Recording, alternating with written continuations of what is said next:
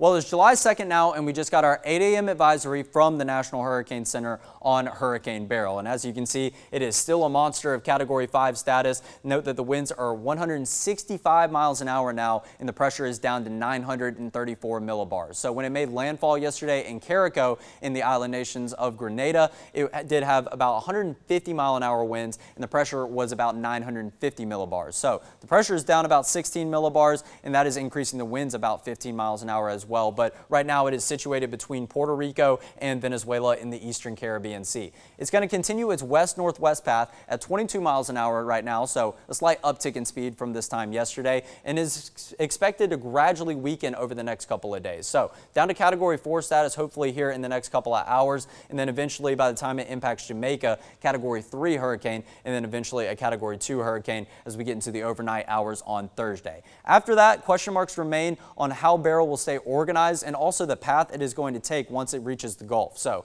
good agreement has the Beryl trekking through the Caribbean Sea and then upwards to the Yucatan Peninsula. With it being 4th of July weekend and many people having cruise plans possibly, you're definitely going to need a contingency plan if you're planning on traveling to places like Jamaica, Cancun, Cozumel, Belize, anywhere in North Central America, the Yucatan Peninsula, and also any island nations down here in the Caribbean Sea. But as we get into Saturday and Sunday, you can see it's going to trek somewhere into the Gulf of Mexico, and it is expected to gradually weaken as it moves over this land strip right here in the Yucatan Peninsula. But we don't quite know what path it's going to take right after that. So is it going to have implications here in the United States, or is it going to move over into Mexico, where we have seen tropical storms and tropical systems move on over and create some substantial flooding in the desert area down there in central East Mexico?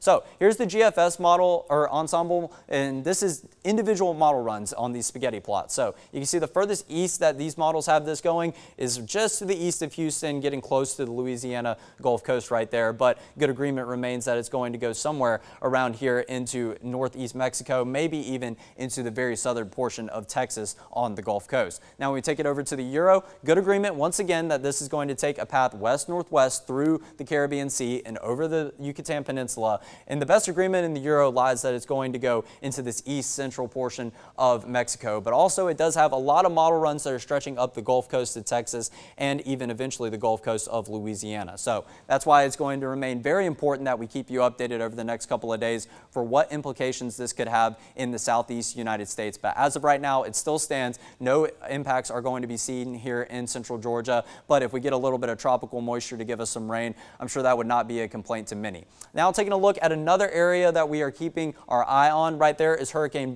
Yes, it is a beast compared to this little minuscule area of development right here following it. A very similar path to where Beryl did go through, so ocean water is probably still relatively warm there, but there is a decrease in confidence in the chances of this, uh, this developing over the next two days and over the next week. So this 20% over the next two days, that's a downtick from 30% as of yesterday, and the 30% chance of development over the next week, that is a downtick from the 60% yesterday, but still something we need to keep our eye on over the next couple of days Once we go back to Beryl, it is really just an unprecedentedly strong storm for this time of year. So the earliest storm of such strength ever recorded in the Atlantic Ocean. That's all time. And the only Category 4 hurricane ever recorded in the month of June, and now the earliest Category 5 ever on record, taking the cake from Hurricane Emily back in 2005.